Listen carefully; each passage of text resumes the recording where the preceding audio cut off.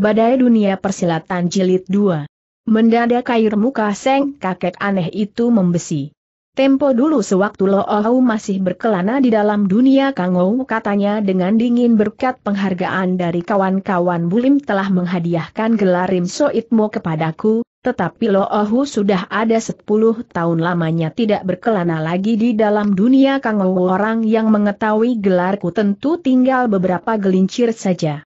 Walaupun Hu Pak Leng menjabat sebagai Liok Lim Beng Chu yang terhormat tetapi daerah kekuasaannya dan daerah berkelananya tempo dulu hanya terbatas di sekitar daerah utara saja kecuali beberapa orang jagoan lihai yang benar-benar punya nama besar terhadap jago-jago lihai yang lebih tuaan ia jarang mengenalnya kini dalam hatinya mulai berputar. Nama Im Soitmo memang tidak pernah aku dengar tetapi gelarnya sudah memakai ganas memakai iblis pula ia pasti seorang manusia yang berhati kejam dan buas. Sembari tersenyum ia buru-buru merangkap tangannya menjura. Ha-a-a-a, ha-a-a selamat bertemu. Pada mulanya si kakek aneh itu menduga dengan usia yang demikian muda dari Hu Pak Leng ia tidak bakal mengetahui peristiwa pada 10 tahun yang lalu. Oleh karena itu setelah menyebutkan gelarnya kembali ia menambahi dengan beberapa patah kata siap-siap sebagai pegangannya untuk turun dari panggung. Siapa sangka ternyata Pak Leng sudah menangkap tangannya menjura bahkan mengucapkan pula kata-kata selamat bertemu, dalam hati ia merasa rada ada di luar dugaan. Diam-diam pikirnya. Tempo dulu setelah aku dikerubuti oleh Huasyo Huasyo Lihai dari kuil Xiao Limsi, dengan membawa luka parah sudah melarikan diri dari kepungan. Kebanyakan orang-orang Kangou menganggap aku sudah mati, apakah gelarku ini benar-benar masih diingat dan dikenal orang-orang bulim titik. Dasar sifatnya yang kejam dingin, buas dan telengas selama ini banyak menaruh curiga terhadap orang lain perasaan gusar maupun girang belum pernah ditampilkan di atas paras mukanya, Peduli dalam hati ia merasa sangat girang pun air mukanya masih tetap dingin, kaku dan tawar. Sekalipun kau bisa mengenali gelar lokoh ujarnya tawar. Tetapi dengan usiamu yang masih muda aku rasa urusan dunia kangou yang kau ketahui tak akan banyak apalagi seluruh orang di kolong langit sudah menganggap Loohu telah menemui ajalnya. Ia sudah munculkan dirinya lagi di dalam dunia kangou, sudah tentu dalam hati telah merencanakan suatu perbuatan yang sungguh-sungguh luar biasa diam-diam Hu Pak Leng berpikir kembali. Lebih baik meminjam kesempatan ini aku mengadakan pembicaraan dulu dengan sikap yang ramah dan hormat terhadap dirinya, kemungkinan pula dari mulutnya aku berhasil mengetahui maksud tujuannya yang sebetulnya terkandung di dalam hati dia orang. Ia adalah seorang manusia cerdik dengan perbuatan jahatnya tempo dulu di mana dia sudah membunuh banyak orang sejak bertemu dengan Kok Hon Siang, ia mulai merasa menyesal dan meletakkan golok pembunuh menoleh ke tepian. Apalagi dengan kecantikan wajah Kok Hon Siang serta sikapnya yang ramah tamah berhasil melelahkan sifat Hu Panleng yang keras kepala dan mengubahnya menjadi halus, dan berbudi. Setiap kali bila ia teringat kembali dengan perbuatan-perbuatan jahatnya tempo dulu dalam hati kontan saja merasa sedih dan pedih seperti tersiksa. Karena itu setiap kali ia berhasil menemui orang semacam ini maka berusahalah dia orang untuk banyak berbuat baik guna menebus dosa-dosanya dahulu. Buru-buru sambil menjura ujarnya. Kemunculan Elo Eng Hiong kali ini di dalam dunia Kangou tentunya sudah menyiapkan suatu pekerjaan yang bakal menggetarkan dan menggemparkan seluruh dunia persilatan bukan? Munculnya Lo Ohu kali ini dalam dunia Kangou sebetulnya bermaksud hendak mengajak kerjasama beberapa orang jago lihai dari kalangan Liok Lim untuk melakukan suatu pertempuran mati-matian melawan manusia-manusia yang menganggap dirinya sebagai perguruan aliran lurus kata Im Soitmo sambil tertawa dingin. Siapa sangka sudah keburu berhasil merebut kedudukan Liok Lim Bengcu tersebut.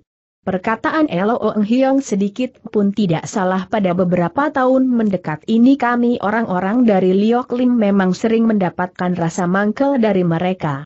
Waktu Im Soitmo mendengar apa yang diucapkan Liok Lim Beng Chu ternyata mirip dengan apa yang dipikirkan dalam hatinya tak terasa ia menjadi sangat girang. Di atas paras mukanya yang dingin kaku mendadak terlintas suatu senyuman ramah.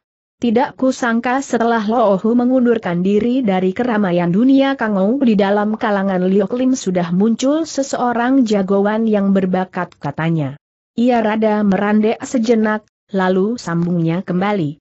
Selama hidupku Loohu belum pernah menaruh rasa simpatik terhadap siapa pun tetapi terhadap dirimu rasanya terkecuali maksud Loohu yang sebenarnya adalah hendak memancing kau datang kemari untuk kemudian turun tangan membasmi kau dari muka bumi. Setelah itu baru berangkat ke daerah Pakih untuk merebut kedudukan Liok Lim Beng Cumu itu. Kemudian dengan menggunakan seluruh kekuatan Liok Lim kita adakan suatu pertempuran mati-matian melawan jago-jago dari perguruan perguruan serta partai kalangan lurus di dalam bulim, tetapi kalau memang kau dengan Loohu bisa cocok satu sama lain maka aku pun tidak merebut kedudukan Liok Limbeng Cumu itu.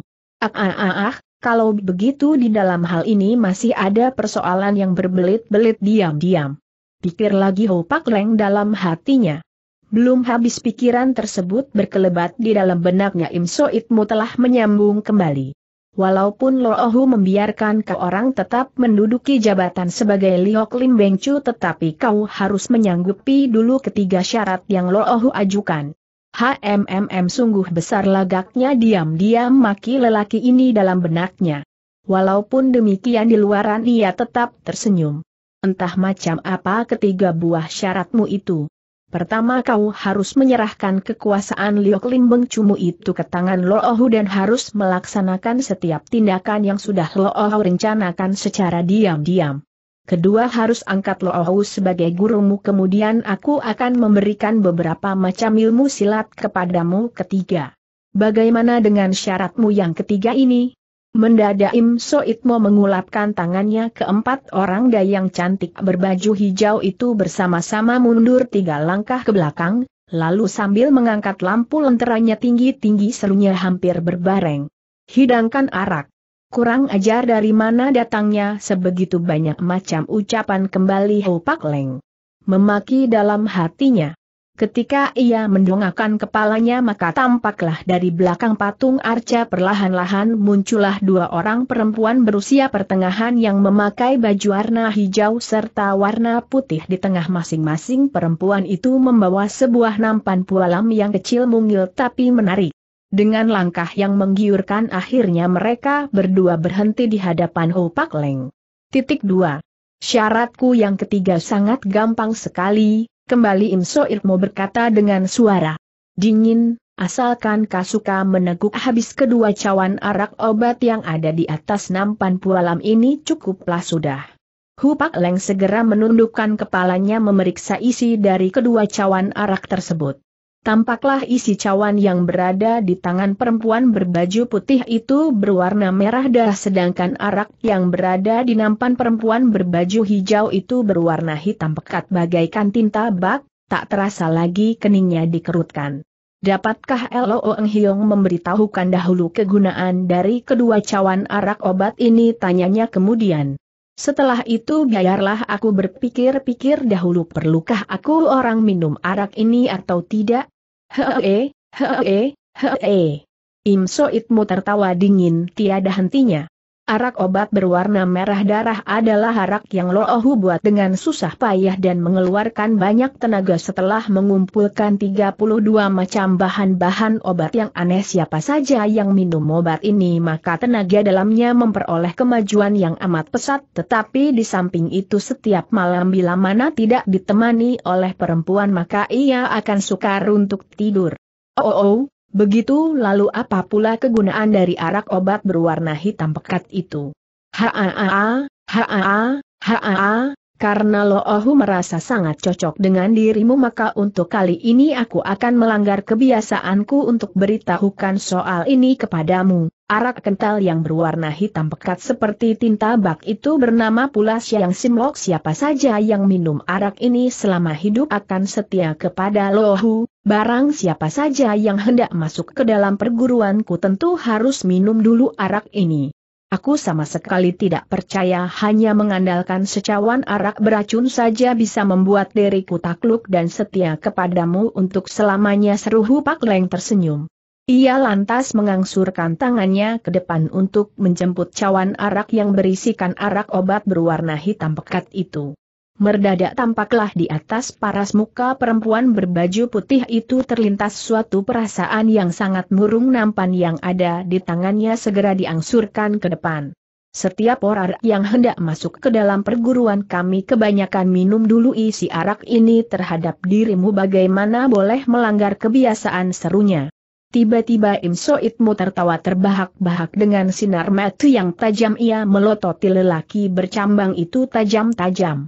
Haa, haa, baiklah untuk dirimu kali ini Loohu akan mengambil tindakan terkecuali asalkan kau suka menghabiskan arak yang berada di tangannya Loohu hadiahkan pula perempuan itu untuk menemani kau setiap malam.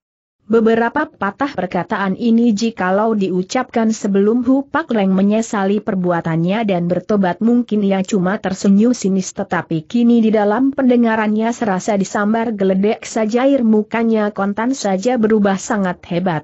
Arak cabul semacam ini bukanlah minuman yang harus dicoba oleh seorang lelaki sejati walaupun cuma kekuatan secawan arak obat belum tentu dapat membuat kesadaran Cai Hai jadi kacau.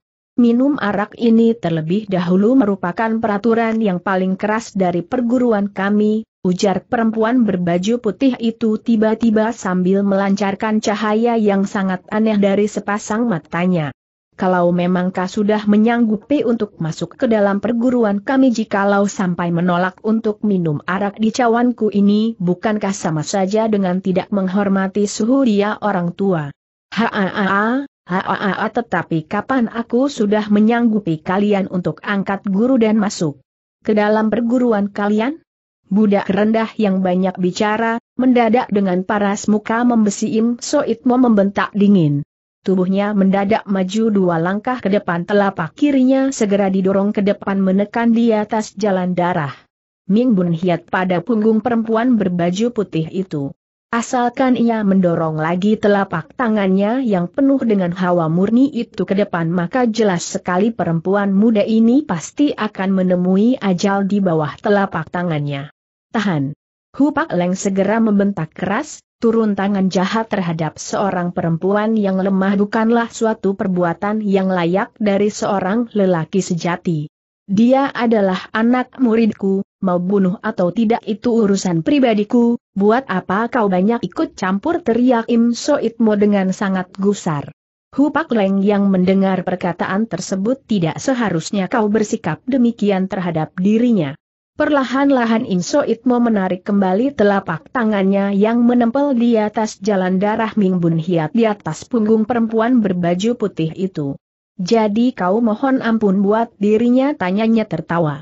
Bukannya begitu, di dalam suatu perguruan seharusnya ada peraturan-peraturan perguruan yang mengatur walaupun ia sudah melanggar peraturan perguruan seharusnya pula ia dihukum sesuai dengan peraturan tindakanmu sedikit-dikit lantas turun tangan membunuh orang HMM.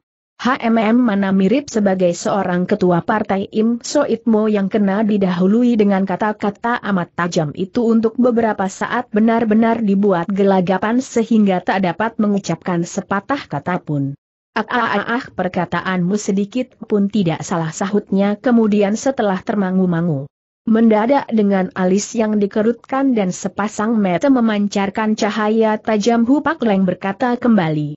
Sebelum aku orang melakukan percobaan ini terlebih dahulu harus dijelaskan dulu duduknya persoalan Elo Eng Hiong memerintahkan Cai Hai untuk menghabiskan kedua cawan arak obat ini, aku rasa setelah obat ini aku teguk hingga habis selama hidupku ini Cai Hai tak akan mempunyai pikiran yang kedua terhadap dirimu. Semisalnya aku betul-betul minum obat ini dan apa yang kau ucapkan tadi sudah terjadi, Hal ini tak usah dipersoalkan lagi tetapi jikalau semisalnya setelah aku menghabiskan kedua cawan obat itu tetapi pikiranku sama sekali tidak berubah entah Lo Eng Hiong hendak mengambil tindakan apa lagi terhadap persoalan ini? Kau ingin Lohu berbuat apa balik tanya Im Soitmo dengan dingin. Hu Pak Leng segera tersenyum. Jikalau pikiran serta kesadaranku sama sekali tidak berubah setelah minum kedua cawan arak obat ini, maka aku hanya mengharapkan agar Elo Ong Hiong bisa mengambil keputusan sendiri untuk meninggalkan dunia ini dan janganlah memalukan kedudukanmu lagi. Im So Itmo yang melihat dia orang dapat berbicara tanpa memperlihatkan sikap yang gugup bahkan sama sekali tidak memikirkan persoalan kedua cawan arak tersebut tak terasa lagi dalam hati timbul perasaan curiga pikirnya. Arak racunku ini selamanya belum pernah meleset ternyata orang ini berani bertaruh dengan diriku, apakah di dalam sakunya sungguh suatu obat pemunah yang sangat mujarab? Untuk sesaat lamanya dia berdiri terpekur tak sepatah kata pun dapat diucapkan. Hu Pak Leng yang melihat dia orang lama sekali tidak berbicara dengan nada yang dingin kembali ujarnya. Jikalau Elo Ong Hiong tidak punya nyali untuk bertaruh, Cai He pun tidak ingin memaksa lebih lanjut perkataan seorang lelaki sejati berat bagaikan gunung Taisan kalau memang aku orang Shihu sudah menyetujui untuk menghabiskan arak obatmu ini, Sekalipun jelas aku tahu setelah ku minum bakal merontokkan dan menghancurkan usus-ususku tetapi tak berakal aku tolak kembali. Im So Imo jangan melihat Hu Pak Leng terus-menerus mendesak dia orang untuk bertaruh dengan dirinya, bahkan semangat pihak lawan begitu menyala-nyala dalam hati merasa semakin curiga lagi kini mendengar pula Siliok Lim Beng Chu memanasi dirinya dengan beberapa patah kata-katanya ia betul-betul kena terdesak. Ehm, tidak aku sangka kau orang betul-betul seorang enghiong yang bernyali besar kalau kau memang berani minum arak yang loohu suguhkan ini berarti pula. Berbicara sampai di sini mendadak ia menutup mulutnya kembali. Sebenarnya ia hendak mengatakan bila di dalam saku Pak Leng sudah tersedia semacam obat pemunah yang sangat mujarab, tetapi baru saja perkataan tersebut hendak meluncur keluar dari ujung bibirnya mendadak ia merasa keadaan tidak beres. Maka dari itu buru-buru ia menutup mulutnya kembali di tengah jalan sepasang matanya dengan tajam dan bulat-bulat melototi diri Hupak Leng tidak berkedip. Hu Pak Leng yang melihat paras muka si orang aneh itu penuh diliputi oleh keragu-raguan dalam hati lantas mengerti bila pihak lawannya tentu sedang menaruh curiga bila di dalam sakunya sudah menggembol semacam obat pemunah yang sangat mujarab. Haa, Haa, jika dilihat dari perubahan paras muka Elo Ong Hyong apakah kau sudah menaruh rasa curiga bila di dalam perkataan Cai Ha itu sudah tersembunyi suatu siasat atau mungkin kau sudah menganggap di dalam sakuku sudah menggembol semacam obat pemunah yang sangat mujarab serunya kepada Im So Itmo sambil tertawa mengejek. Im So Itmo yang ditanyai begitu kontan saja dibuat gelagapan paras mukanya berubah hebat dan tak sepatah kata pun dapat diucapkan keluar ia cuma bisa tertawa hahaha saja. Setelah mendengar pembicaraan dari kedua orang itu, perasaan tegang yang menghiasi wajah perempuan yang berbaju putih itu pun perlahan-lahan mengendor kembali dari sepasang matanya kini memancarkan cahaya terkejut serta khawatir, dengan sangat kagum ia melirik sekejap ke arah Hu Pak Leng.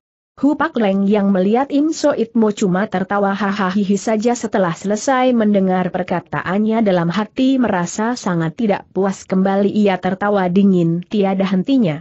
Orang budiman tidak akan melakukan pekerjaan yang tidak senonoh, Cai Hai sudah menyanggupi untuk meneguk habis arak obat ini hanya aku tidak percaya bila arak obatmu ini mempunyai suatu kekuatan yang sangat aneh bersamaan itu pula Cai Hai pun masih percaya dengan mengandalkan kekuatanku yang masih ada tidak sampai kesadaranku terbius oleh secawan dua cawan arak obatmu itu, katanya. Sepasang tangan perempuan berbaju putih itu kelihatan gemetar sangat keras, keningnya dikerutkan kemudian dengan pandangan penuh kesedihan dan mendongkol melirik sekejap ke arah Pak Leng. Sebaliknya Im So Itmo cuma memutar-mutarkan biji matanya yang lebih banyak putihnya daripada hitamnya itu untuk melirik sekejap ke arah Sang Liok Lim Beng Chu agaknya dia orang sama sekali tidak begitu percaya terhadap perkataannya. Diam-diam Hu Pak Leng mencuri lihat keadaan cuaca setelah di dalam hati mengambil perhitungan kembali sambungnya lagi. Walaupun Cai Hai ada maksud hendak mencoba kekuatan arak obat dari Elo Eng Hiong tetapi sebaliknya Elo Eng Hiong malah menaruh curiga bahwa aku sudah menyembunyikan obat pemunah yang mujarab bahkan apabila ditinjau dari perubahan paras muka Elo Eng Hiong bukan saja tidak percaya terhadap perkataan Cai Hai masih ingin juga memeriksa diriku. Sungguh tidak kusangka sama sekali bila Elo Eng Hiong sebenarnya adalah seorang yang tidak bisa dipercaya hal ini benar-benar membuat Chai Hai merasa sangat kecewa. Beberapa patah perkataan ini diucapkan dengan sangat bersemangat. Cheng Li bahkan amat tajam. Kontan saja air muka Im So Ilmu berubah sangat hebat. Sewaktu perempuan berbaju putih itu mendengar perkataan dari Hu Pak Leng barusan ini sangat tajam buru-buru ia melirik sekejap ke arahnya. Tetapi ketika dilihatnya lelaki bercambang itu tak menunjukkan reaksi maupun perasaan di tak terasa lagi ia menghela napas panjang. Bibirnya yang kecil mungil kelihatan sedikit bergerak tapi tak sepatah kata pun yang diucapkan keluar sinar matanya kembali memandang sekejap wajah Im Soitmo. Agaknya dari perasaan malu kini Im So Ilmu benar-benar dibuat amat murka air mukanya berubah sangat hebat. Apa kau kira Lo Ohu benar-benar tak dapat melakukan pemeriksaan terhadap dirimu bentaknya keras. Hu Pak Leng tertawa dingin tiada hentinya, tak sepatah kata pun yang diucapkan keluar.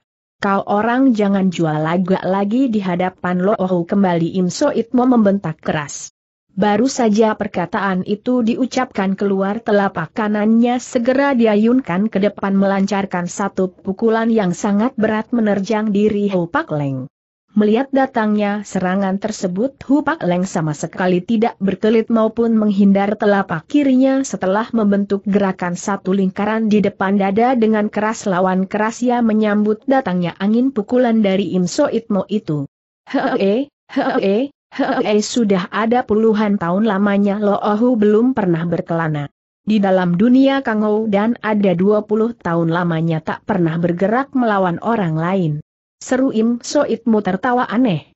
Tidak kusangka di dalam dunia Kangou ternyata sudah bermunculan jago-jago lihai dalam jumlah yang tidak sedikit. Jika ditinjau dari kekuatan pukulanmu barusan ini kelihatannya memang ada sedikit tenaga, tidak aneh kalau kau orang berhasil merebut kedudukan sebagai Liok Lim Beng Chu. Selesai berkata kembali ia tertawa aneh sambungnya. Ini hari Lo Ohu hendak mencoba bagaimanakah lihainya pukulan itu. Hu Pak Leng yang baru saja menerima datangnya angin pukulan dari Im So Itmo dengan keras lawan keras dalam hati mengerti bila tenaga si kakek aneh ini sangat sempurna bahkan sudah mencapai pada puncaknya dalam hati diam-diam ia mulai berpikir kembali. Jika ditinjau dari keadaan pada saat ini jangan dikata jumlah mereka sangat banyak, cukup Im So Itmo seorang saja sudah tidak gampang untuk dihadapi, Terpaksa mulai sekarang aku harus berusaha untuk mengulur waktu setelah Yui Hok sekalian pada berdatangan baru mengambil keputusan kembali. Setelah mengambil keputusan di dalam hatinya ia pun dengan sendirinya menyingkir satu langkah ke samping. Cai He menghormati dirimu sebagai seorang Cian Pue seorang Enghiong katanya. Si perempuan berbaju putih yang berdiri di samping dengan tenangnya itu semula ketika mendengar pembicaraan mereka berdua mencapai pada puncaknya dalam hati merasa sangat tidak tenang. Apalagi sewaktu dilihatnya Im Soitmo melancarkan satu serangan dahsyat ke arah Pak Leng saking terperanjatnya seluruh paras muka perempuan itu berubah jadi pucat pasi bibirnya gemetar keras. Semisalnya ia tidak menaruh rasa jeri terhadap Seng kakek tua Im Soitmu tersebut kepingin sekali dia orang maju ke depan untuk melerai. Kini setelah dilihatnya Hu Pak Leng menyingkir ke samping ia tak dapat menahan sabar lagi, dengan cepat serunya kepada si lelaki bercambang itu. Kalau memangnya kau orang sudah setuju untuk memasuki perguruan kami mengapa sikapmu begitu tidak tahu sopan? Kapan Cai Hai pernah menyanggupi untuk masuk ke dalam perguruan kalian? Kau suka minum arak ini berarti pula kau sudah setuju untuk masuk ke dalam perguruan kami, apakah hal ini pun kau ingin pungkiri kembali? Aku menyanggupi untuk menghabiskan arak obat ini hal ini dikarenakan aku tidak percaya bila di dalam arak obat ini mempunyai suatu daya kekuatan yang aneh. Itulah dia si perempuan berbaju putih ini mendadak tersenyum. Asalkan kau sudah menyanggupi untuk minum arak ini berarti pula sudah menyetujui pula untuk masuk ke dalam perguruan kami inilah peraturan perguruan. Mendengar perkataan tersebut Hupak Leng segera tertawa dingin tiada hentinya. Angkat guru belajar silat adalah suatu peristiwa yang harus disetujui oleh kedua belah pihak di kolong langit mana ada carry yang menggunakan sistem paksaan semacam kalian ini. Serunya keras-keras. Peraturan yang aneh dari kalian apa kamu semua sudah anggap cukup untuk memaksa Cai He menyerah begitu saja. Selesai berkata kembali dia orang tertawa dingin tiada hentinya. Dia adalah seorang lelaki yang berpikiran tajam dan bersemangat gagah jika berada pada hari-hari biasa Hupak Leng sudah tentu tak akan suka banyak bicara dengan perempuan berbaju putih ini, tetapi sekarang demi mengulur waktu yang lebih lama lagi terpaksa ini harus mengucapkan kata-kata tersebut dengan perempuan itu. Im So Itmo yang ada di samping kalangan, ketika itulah kembali tertawa aneh. Hehehe, hehehe, Hehehe, kau sebagai seorang Liok Lim Beng Chu mengapa tindakanmu begitu pelin-pelan teriaknya. Elo Eng Hyong adalah seorang jagoan bulim yang mempunyai nama serta kedudukan, sudah tentu di dalam setiap tindakan tak akan melontarkan tuduhan semau sendiri bantah Pak Leng dengan nada yang serius. Selamanya Cai Hai paling pegang teguh setiap perkataan yang telah aku ucapkan dan belum pernah pungkiri kembali. Mengapa sekarang Elo Eng Hiong bisa menuduh Cai Hai sebagai seorang yang pelin-pelan titik dua? Bukankah kau tadi sudah setuju untuk menghabiskan kedua cawan arak obat ini mengapa sekarang coba-coba menyingkir dan pungkiri kata-katamu tadi titik?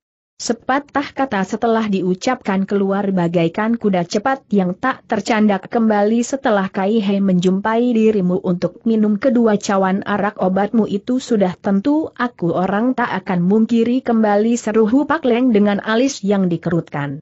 Kalau memang demikian adanya mengapa kau masih coba membantah? Haa, haa, Cai He memberi penjelasan seperti ini tidak lain sebetulnya ingin menerangkan dulu persoalan tersebut. Hu Pak Leng tertawa terbahak-bahak. Minum arak adalah satu persoalan dan angkat guru adalah satu persoalan pula, mengapa kau bisa mencampur baurkan kedua persoalan itu menjadi satu persoalan peraturan kalian semacam ini membuat Cai He amat geli. Im So Itmo yang melihat paras muka Hupak Leng amat tenang dalam hati tak terasa rada bergerak pikirnya. Asal kau suka minum arak ini dan asalkan kau sungguh-sungguh tidak memiliki obat pemunah apakah Loohu harus takut kau berhasil meloloskan diri dari cengkeramanku?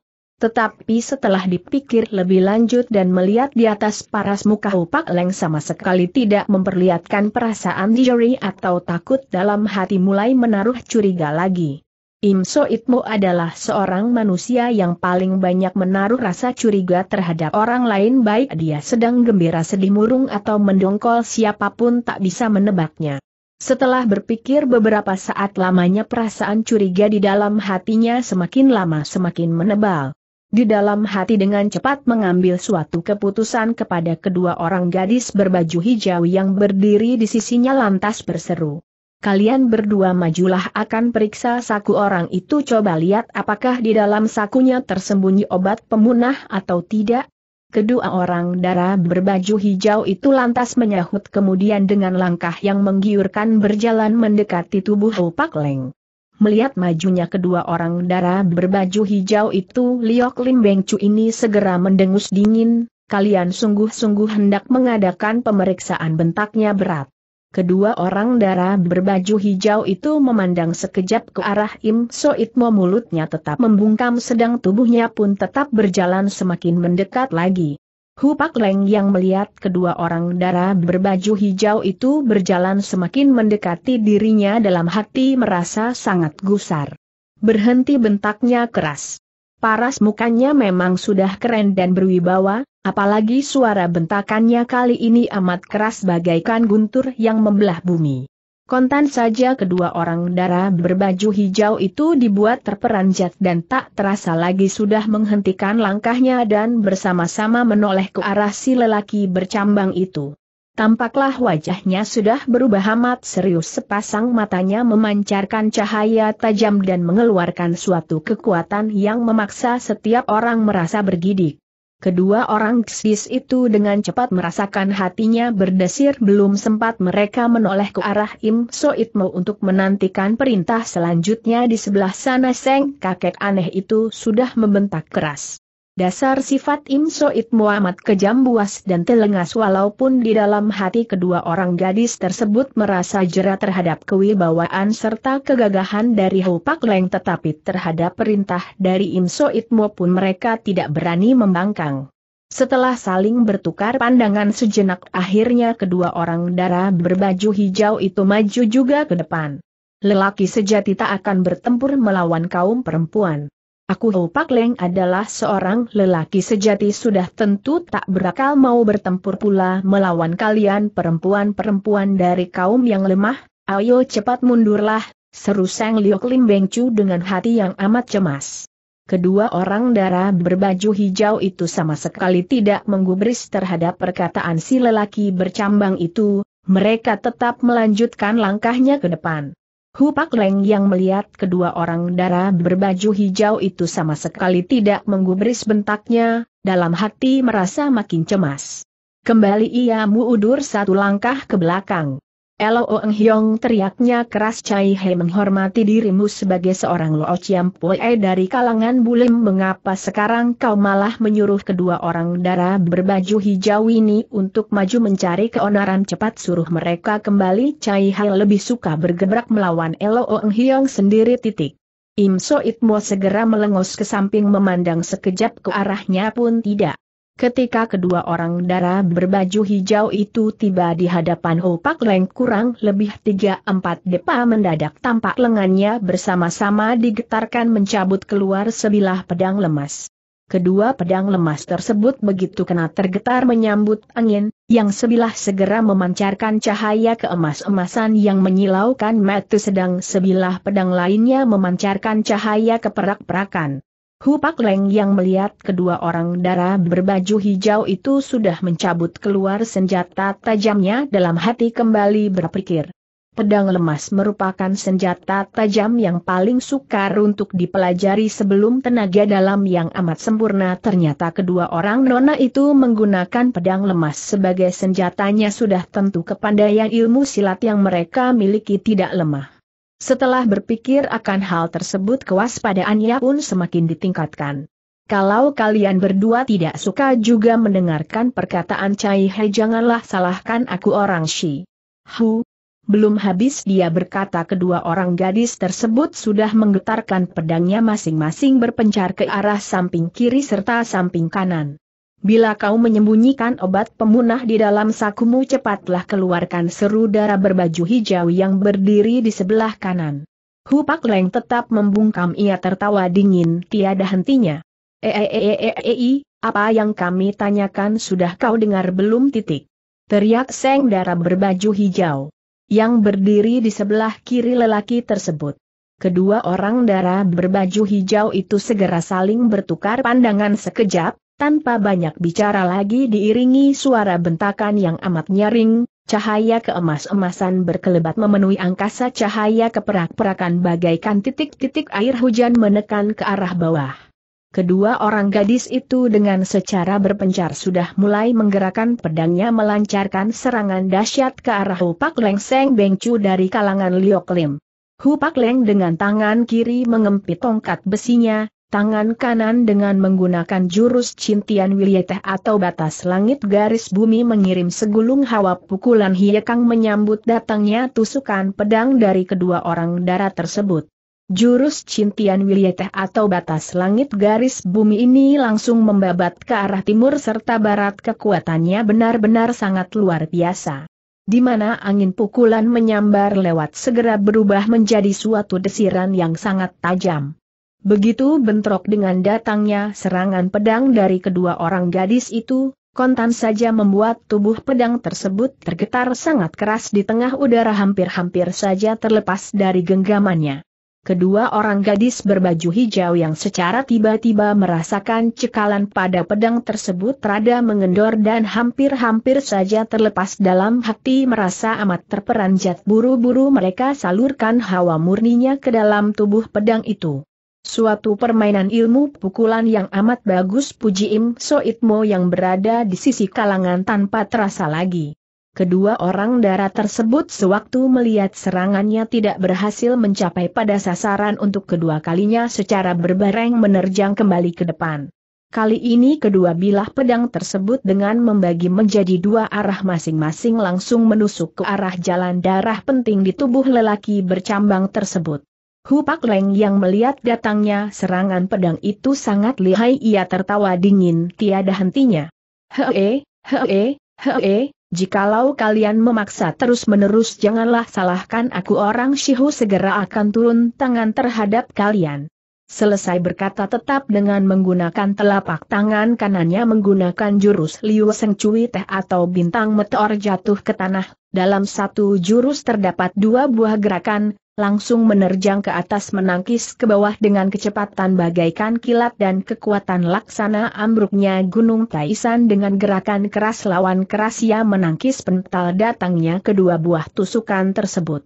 Tapi sewaktu kedua orang darah berbaju hijau itu merasakan pedang lemasnya tergetar sangat keras, sehingga hampir-hampir terlepas dari genggaman sewaktu terbentur dengan angin pukulan pihak lawan dalam hati sudah menyadari bila tenaga dalam itu telah berhasil mencapai pada taraf yang tertinggi karenanya perasaan waspada pun sudah dipertingkat.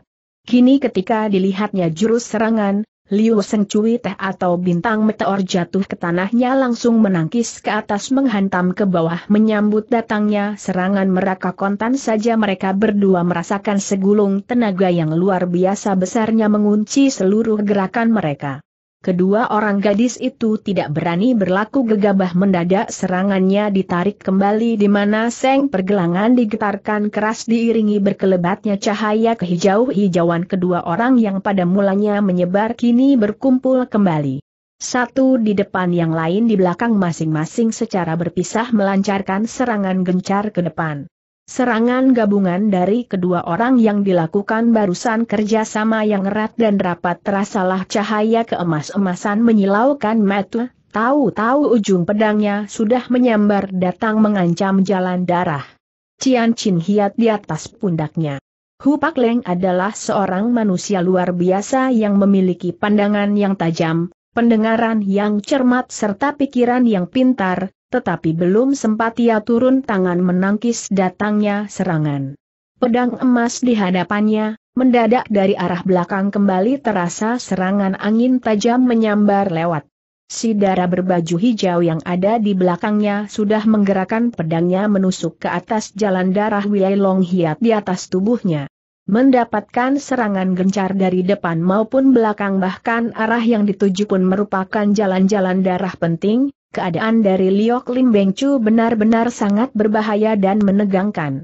Si perempuan cantik berbaju putih yang berdiri termangu-mangu di sisi kalangan ketika melihat kejadian itu saking kagetnya ia merasakan hatinya berdesir bibirnya digigit kencang-kencang sedang keringat mengucur keluar dengan teramat derasnya sepasang metu yang bulat indah terbelalak lebar-lebar memperhatikan diri Ho Pak Leng dengan perasaan amat khawatir. Mendadak terdengar Ho Pak Leng membentak keras, telapak kirinya di balik tongkat besinya bagaikan sebatang pit diangkat lurus-lurus ke depan sedikit ujung kakinya menggunakan tenaga sang tubuh dengan meminjam kekuatan tersebut segera berputar kencang menangkis datangnya setiap serangan tersebut. Inilah yang dinamakan jurus Kun Leong Sintian atau naga perkasa naik langit. Terdengarlah dua kali suara bentrokan senjata tajam yang amat nyaring diikuti suara jeritan kaget dari kedua orang gadis tersebut. Di mana ujung baju berwarna hijau berkibar tersampok angin tahu-tahu mereka berdua sudah mundur sejauh lima depa ke arah samping. Terburu-buru perempuan berbaju putih itu menoleh ke arah kedua orang darah berbaju hijau tersebut. Tampaklah mereka berdua dengan wajah berubah pucat pasi bagaikan mayat, tangan gemetar bibir menjadi putih berdiri di sana dengan napas yang ngos-ngosan. Ketika ia memandang pula ke arah Upak Leng tampaklah lelaki bercambang ini sambil menarik kembali tongkat besinya berdiri di tempat semula dengan sangat tenang. Hal ini membuat dalam hatinya segera timbul para saa kagum terhadap lelaki itu, suatu senyuman yang amat manis pun tanpa ia rasa sudah menghiasi bibirnya dengan sinar mata penuh mengandung perasaan cinta ia melirik sekejap ke arahnya. Kedua orang darah berbaju hijau itu setelah berhasil menenangkan hatinya yang kaget dengan perasaan takut segera menoleh ke arah Im Soitmo. Hee, hee. Dengan tenaga dalamnya yang sangat lihai sudah tentu bukanlah tandingan kalian. Kekalahanmu berdua kali ini tak akan aku salahkan kepada kalian, seru Im Soitmo tertawa dingin.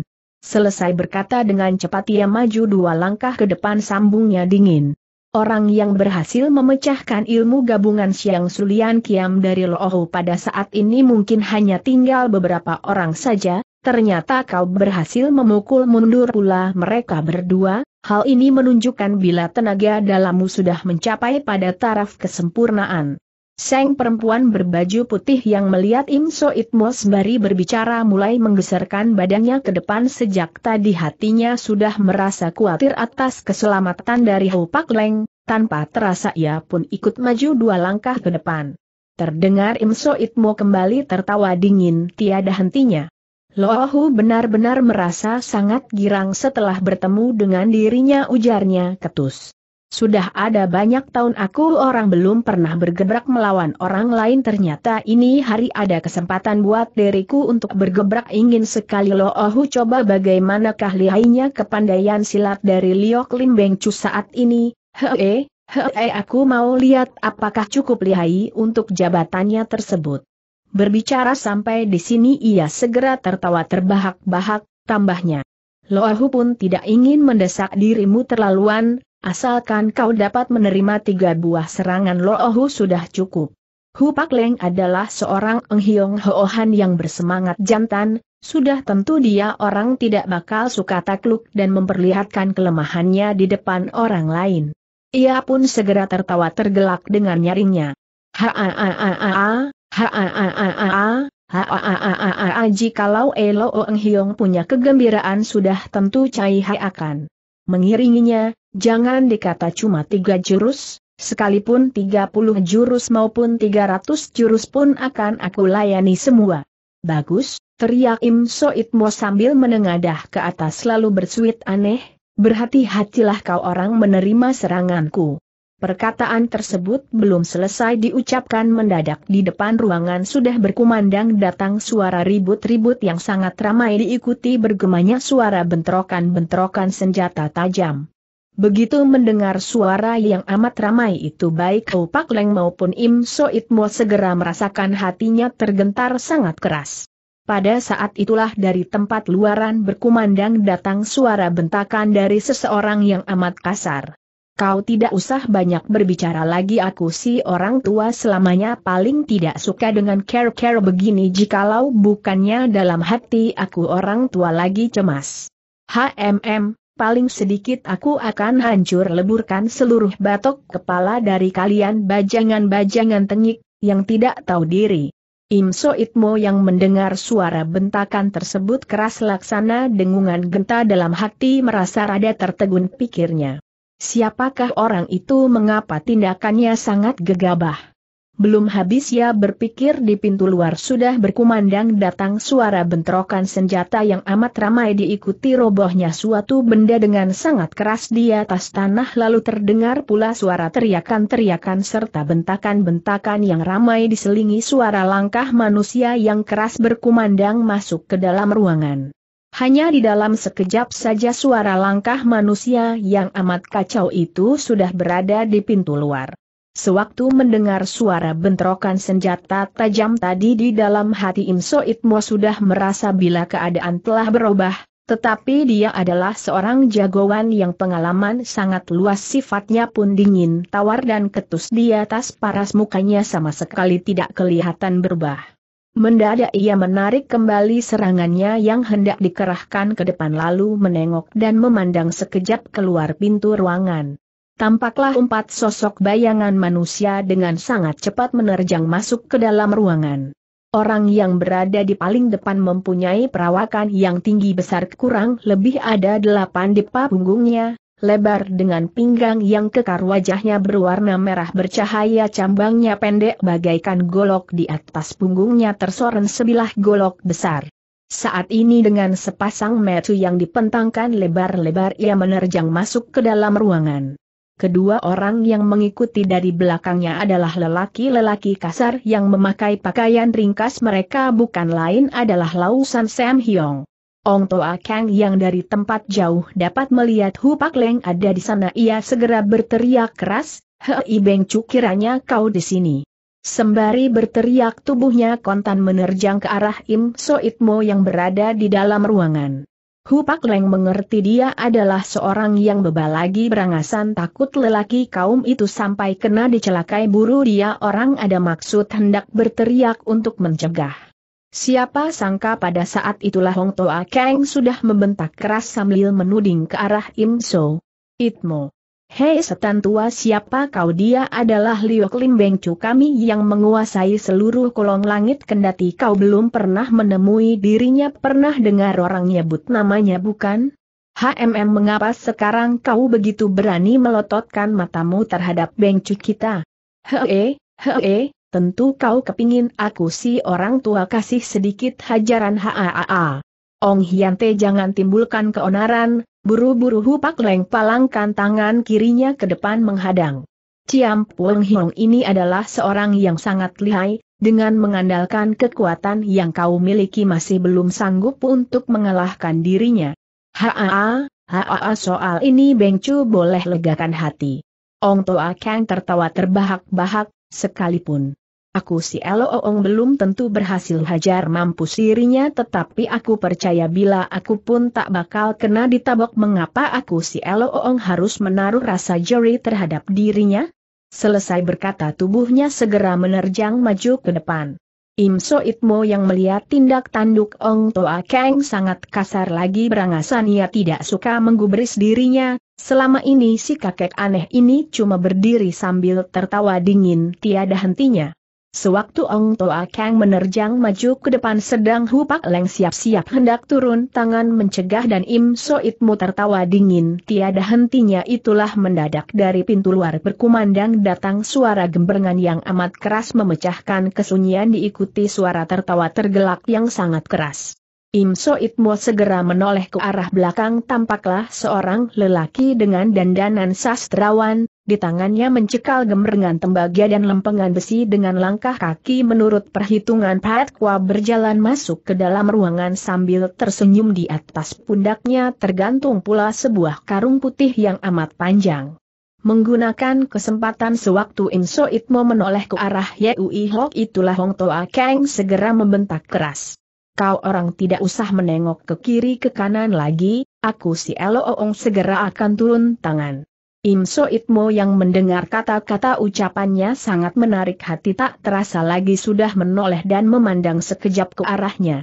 Apa yang kau tertawakan teriak Ong Toa Kang lagi dengan perasaan kurang puas kedatangan aku si Elo Ong selamanya terus terang dan belak-belakan belum pernah aku orang mengirim satu pukulan bokongan kepada orang lain. Ia merandek sejenak lalu sambungnya kembali. Kau sudah bersiap sedia aku si Elo Oong segera akan turun tangan. Belum habis perkataan itu diucapkan, tubuhnya dengan cepat sudah meloncat ke depan.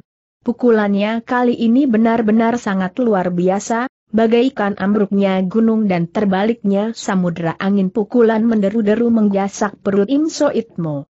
Im So Itmo yang melihat datangnya pukulan tersebut bukannya menghindar ke samping sebaliknya ia malah tertawa mengejek. Bagus sekali ilmu pukulanmu manusia tolol yang tidak tahu diri serunya. Sembari berkata pergelangan tangannya rada sedikit ditekuk ke bawah, terdengarlah suara angin yang sangat ringan berhembus lewat tahu-tahu ujung bajunya sudah menyenggol perlahan di atas pergelangan tangan Ong Toa Keng. Ha-a-a-a-aduh, Mendadak saja Ong Toa Kang meloncat keluar tangan kirinya memegang erat-erat kepalan kanannya sedang sepasang metu dengan terbelalak lebar-lebar memandang ke atas wajah Im Soitmo dengan penuh kebencian. Kau, kau tidak bisa memenangkan aku sih, sekarang berani menggunakan ilmu setan menghadapi aku si Eloong, kurang ajar teriaknya gemas. Ketika Hupak Leng memperhatikan lengan kanan Ong Toa Kang dengan lebih teliti lagi maka ia menemukan bila tangan lelaki tersebut sudah mulai membengkak besar. Hatinya terasa sangat terperanjat pikirnya. Kendati seseorang memiliki tenaga lekang yang bagaimana dahsyat kekuatan kebutannya bagaimana lihai pun tidak bakal bisa melukai seseorang yang memiliki ilmu kebal hanya dalam satu kali sapuan dengan ujung bajunya saja. Mungkin orang ini pun sudah melatih suatu ilmu kepandaian yang sangat beracun. Berpikir akan hal tersebut perasaan curiga di dalam hatinya pun mulai timbul. Saudara Ong bentaknya rendah cepat luruskan lengan serta jari-jari tanganmu coba periksa apakah tulang-tulangmu sudah terluka parah. Bang Chu boleh berlega hati walaupun kepandaian silat dari aku si Eloong tidak begitu lihai tetapi kepandaianku untuk menahan sakit atas pukulan orang lain masih rada mempan. Walaupun di luaran ia berbicara dengan sangat ringan dan seenaknya tetapi di dalam hati dia pun merasakan keadaannya rada tidak beres. Ia menurut saja untuk meluruskan lengan serta jari-jari tangannya. Tetapi sebentar kemudian ia sudah menemukan bila tulang-tulang lengannya sama sekali tidak terluka tak kuasa lagi Ong Toa Kang tertawa terbahak-bahak. Berkat dari perhatian Beng Chu, maka kulit badan dari aku si Elo Ong keras seperti kulit badak tulang-tulang lenganku sama sekali tidak terluka katanya. Hupak Leng mendengus ringan air mukanya berubah semakin membesi sedikit pundaknya bergerak tahu-tahu ia sudah berada di sisi tubuh Ong Toa Kang. Cepat keluarkan tangan kananmu biar aku periksa perintahnya dengan suara keras. Perlahan-lahan Ong Toa Kang mengeluarkan kelima jari tangannya dan diangsurkan ke depan. Di atas punggung telapak tangannya tampaklah sebuah garis belang berdarah yang memanjang cuma saja bekas garis belang ini sangat halus sehingga bila tidak diperhatikan dengan teliti tak akan ditemuinya. Sinar mata Pak Leng segera dialihkan ke atas wajah Im Soitmo sambil memandang dirinya tajam-tajam katanya dingin.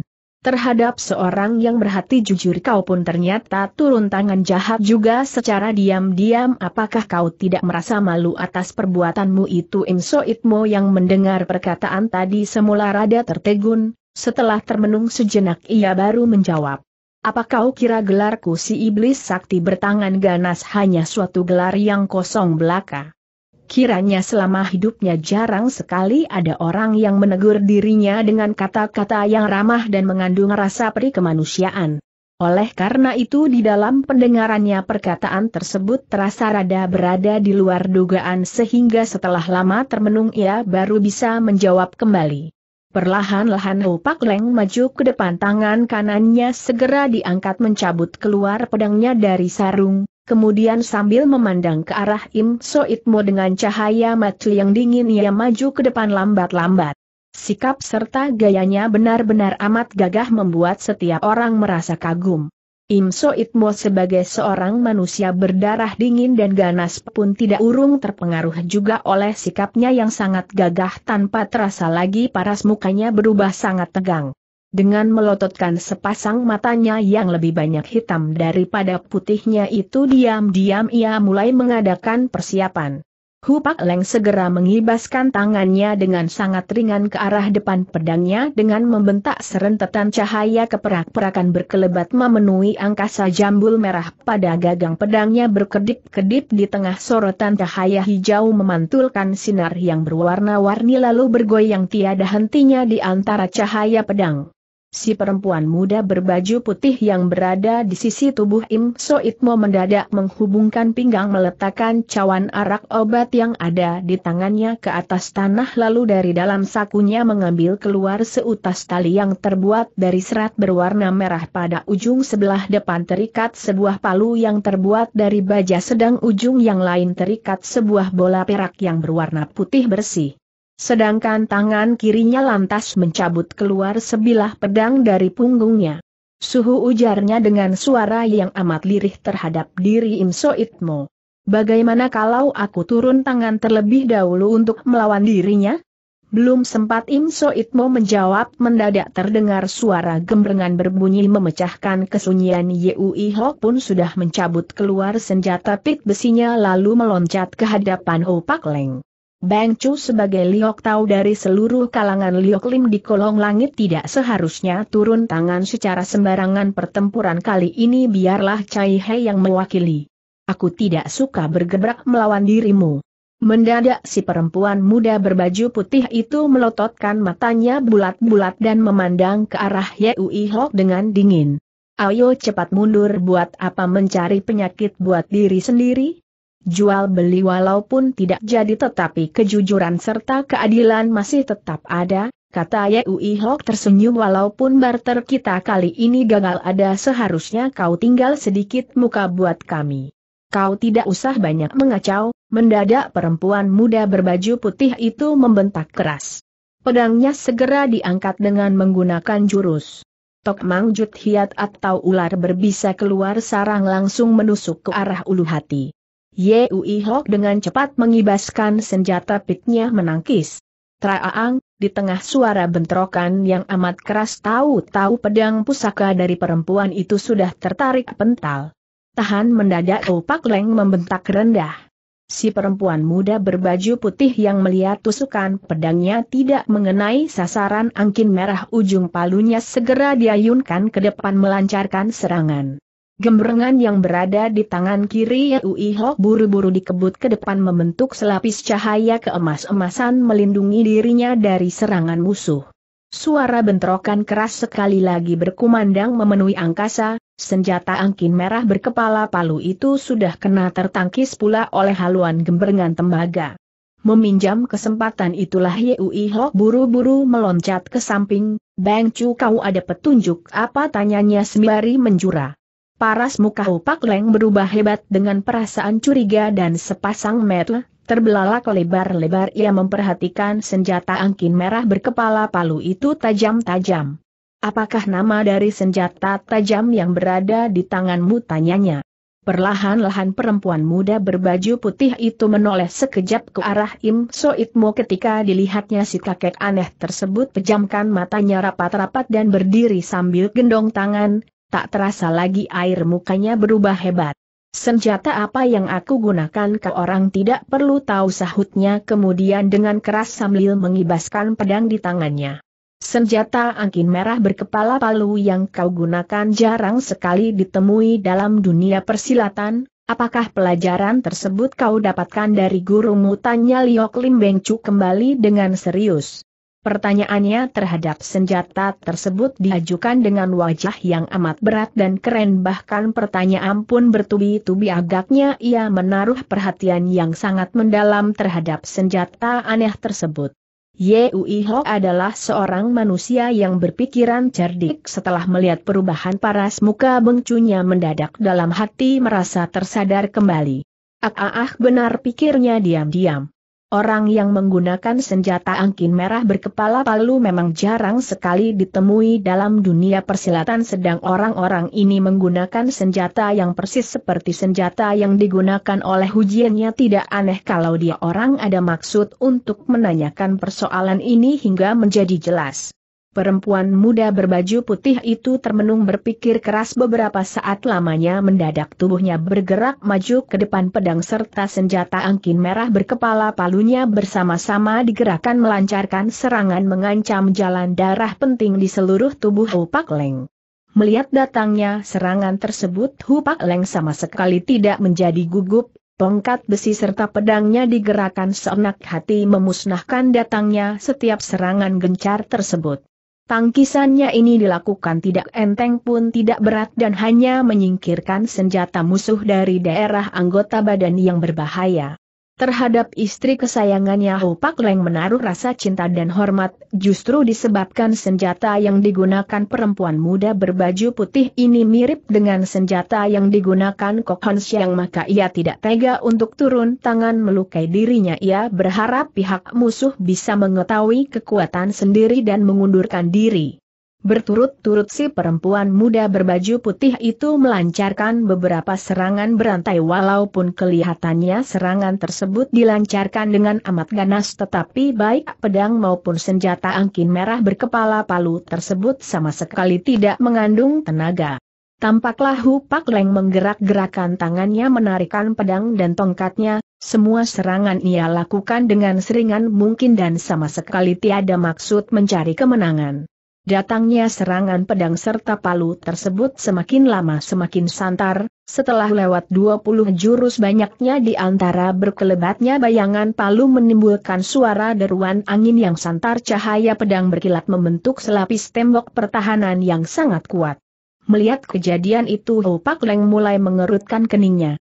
Jikalau ia melancarkan serangan terus-terusan tanpa suka mundur entah sampai kapankah pertempuran ini baru bisa selesai, Pikirnya di dalam hati, jikalau tidak ku beri sedikit kelihayan rasanya dia orang tak akan mundurkan diri.